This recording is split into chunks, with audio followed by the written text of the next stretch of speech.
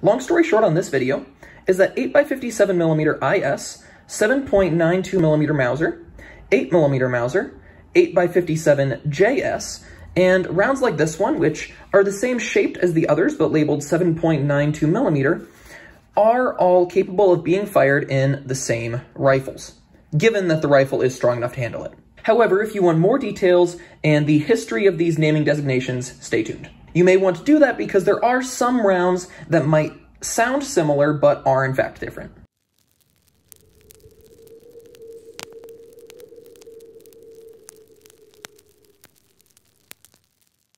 Let's get into the history. You're probably used to bullets looking a lot like this one, with a pointed tip at the end, and not making quite as much contact with the barrel. However, in 1888, the Germans contracted the commission rifle, and with it a round called Patronen 88. Now, that rifle, you may know it as the Gewehr 88 or the Gewehr 1888 as the year that it was adopted. So this round is a Turkish training round with a wooden bullet, However, what this round clearly demonstrates is what a bottlenecked round looks like. So this whole length right here would contact the barrel, and the point is rounded. This bullet will generally be heavier but have a lower velocity, and it will make more contact with the barrel, which means more pressure will build. The round that looks like this one, but that I don't have, would be either called 7.9I or infantry, but today the more common designation is 8x57I or 8x57J, We'll talk about the I versus J thing later in the video.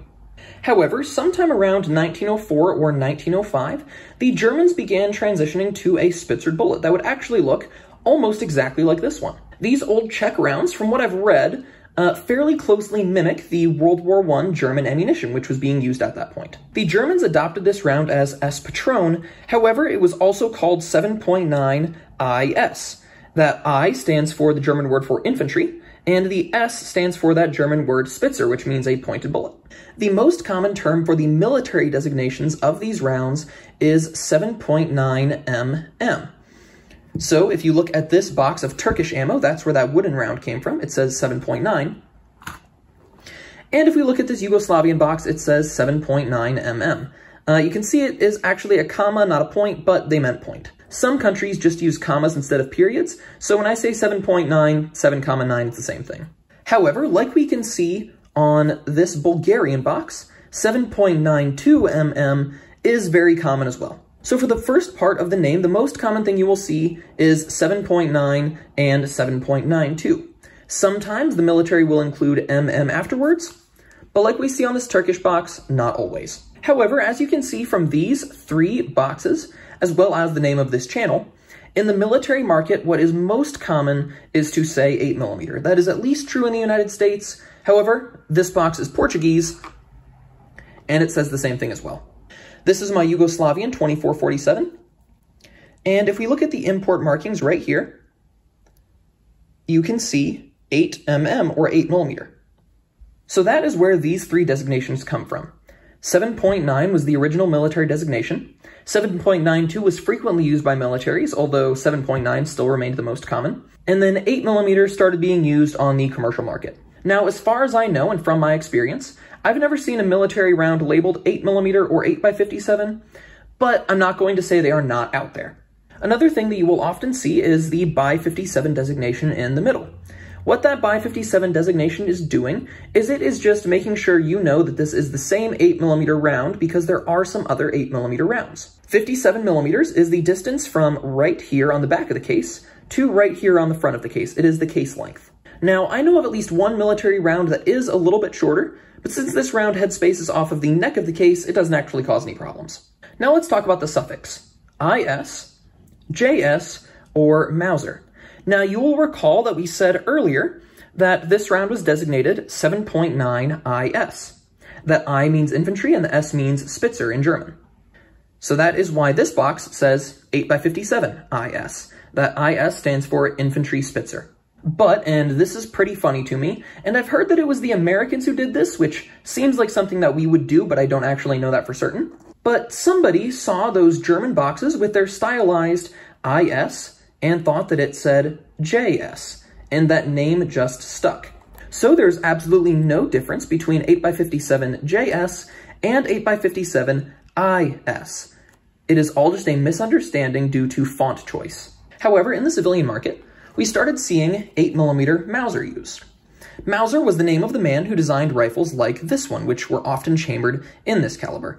But there were some other Mauser rounds, such as 7mm Mauser and 7.65 Mauser.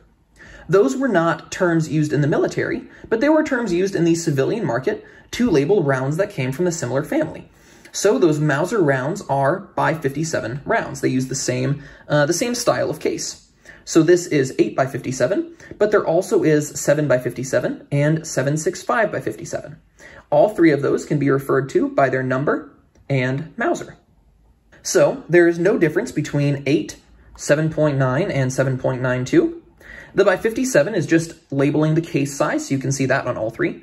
And there's no difference between IS, JS, and Mauser except that Mauser is a designation that can apply to other rounds as well. However, if there is an 8mm in front of it, it is the same as these, it's just a commercial designation. Much like I have never seen a military round labeled 8mm, I've never seen a military round labeled Mauser. I'm not saying it doesn't exist, I'm just saying that I personally have not seen it. Now, let's talk about some similar rounds that you don't want to get confused by.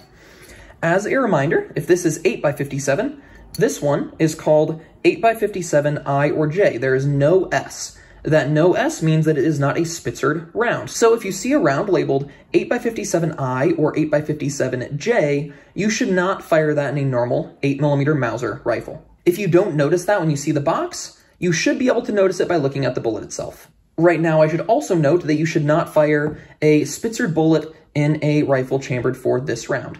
That's because this round is much higher pressured, so it might damage this rifle. The bottlenecked rounds and the Spitzered rounds are not cross-compatible in either direction. Another round you might see is 8x57 JRS. Now, I don't have one of those to show you, but what I do have is a 7.62x54R round. So that R in JRS stands for a rimmed round, meaning that it is rimmed and the rim exceeds the width of the case. Whereas normal 8x57 is rimless, 8x57 JRS is rimmed. Again, just like the other rounds, that might be called JRS, it might be called IRS, but the important letter is that R. One last similar German round to talk about is 8mm Kurz, also known as 8mm short or 7.92 by 33. 7.92 by 33 is the round that the Sturmgewehr 44 is chambered in. So this is a full-powered rifle round. But the 7.92 Kurz is a assault rifle round. It's a lot shorter and a lot less powerful. That round shouldn't chamber in this gun, and if it chambers, you probably shouldn't fire it because there will be a bunch of extra space in the chamber, but this round definitely won't chamber in a 7.92 Kurz gun. Just for a comparison of what I'm talking about, this 7.62 by 54R is a full-length rifle cartridge, and this 7.62 by 39 is an assault rifle cartridge for an AK-47 you can see it's quite a bit smaller and quite a bit shorter, even though the bullet diameter is the same. And the bullet for this one is quite a bit smaller. The same is true for 8mm Kurz to 8mm Mauser. So the next time somebody asks you a question about 8x57 IS, 8mm Mauser, 8x57 JS, 7.92 by 57 millimeter, or any other variation thereof, you can send them this video. I am 8mm Mauser Man, and I could change my channel name to 8x57mm IS Man. I'm just not going to. But I lived on. Which proves it's hard to get the best of a man named John. John. John.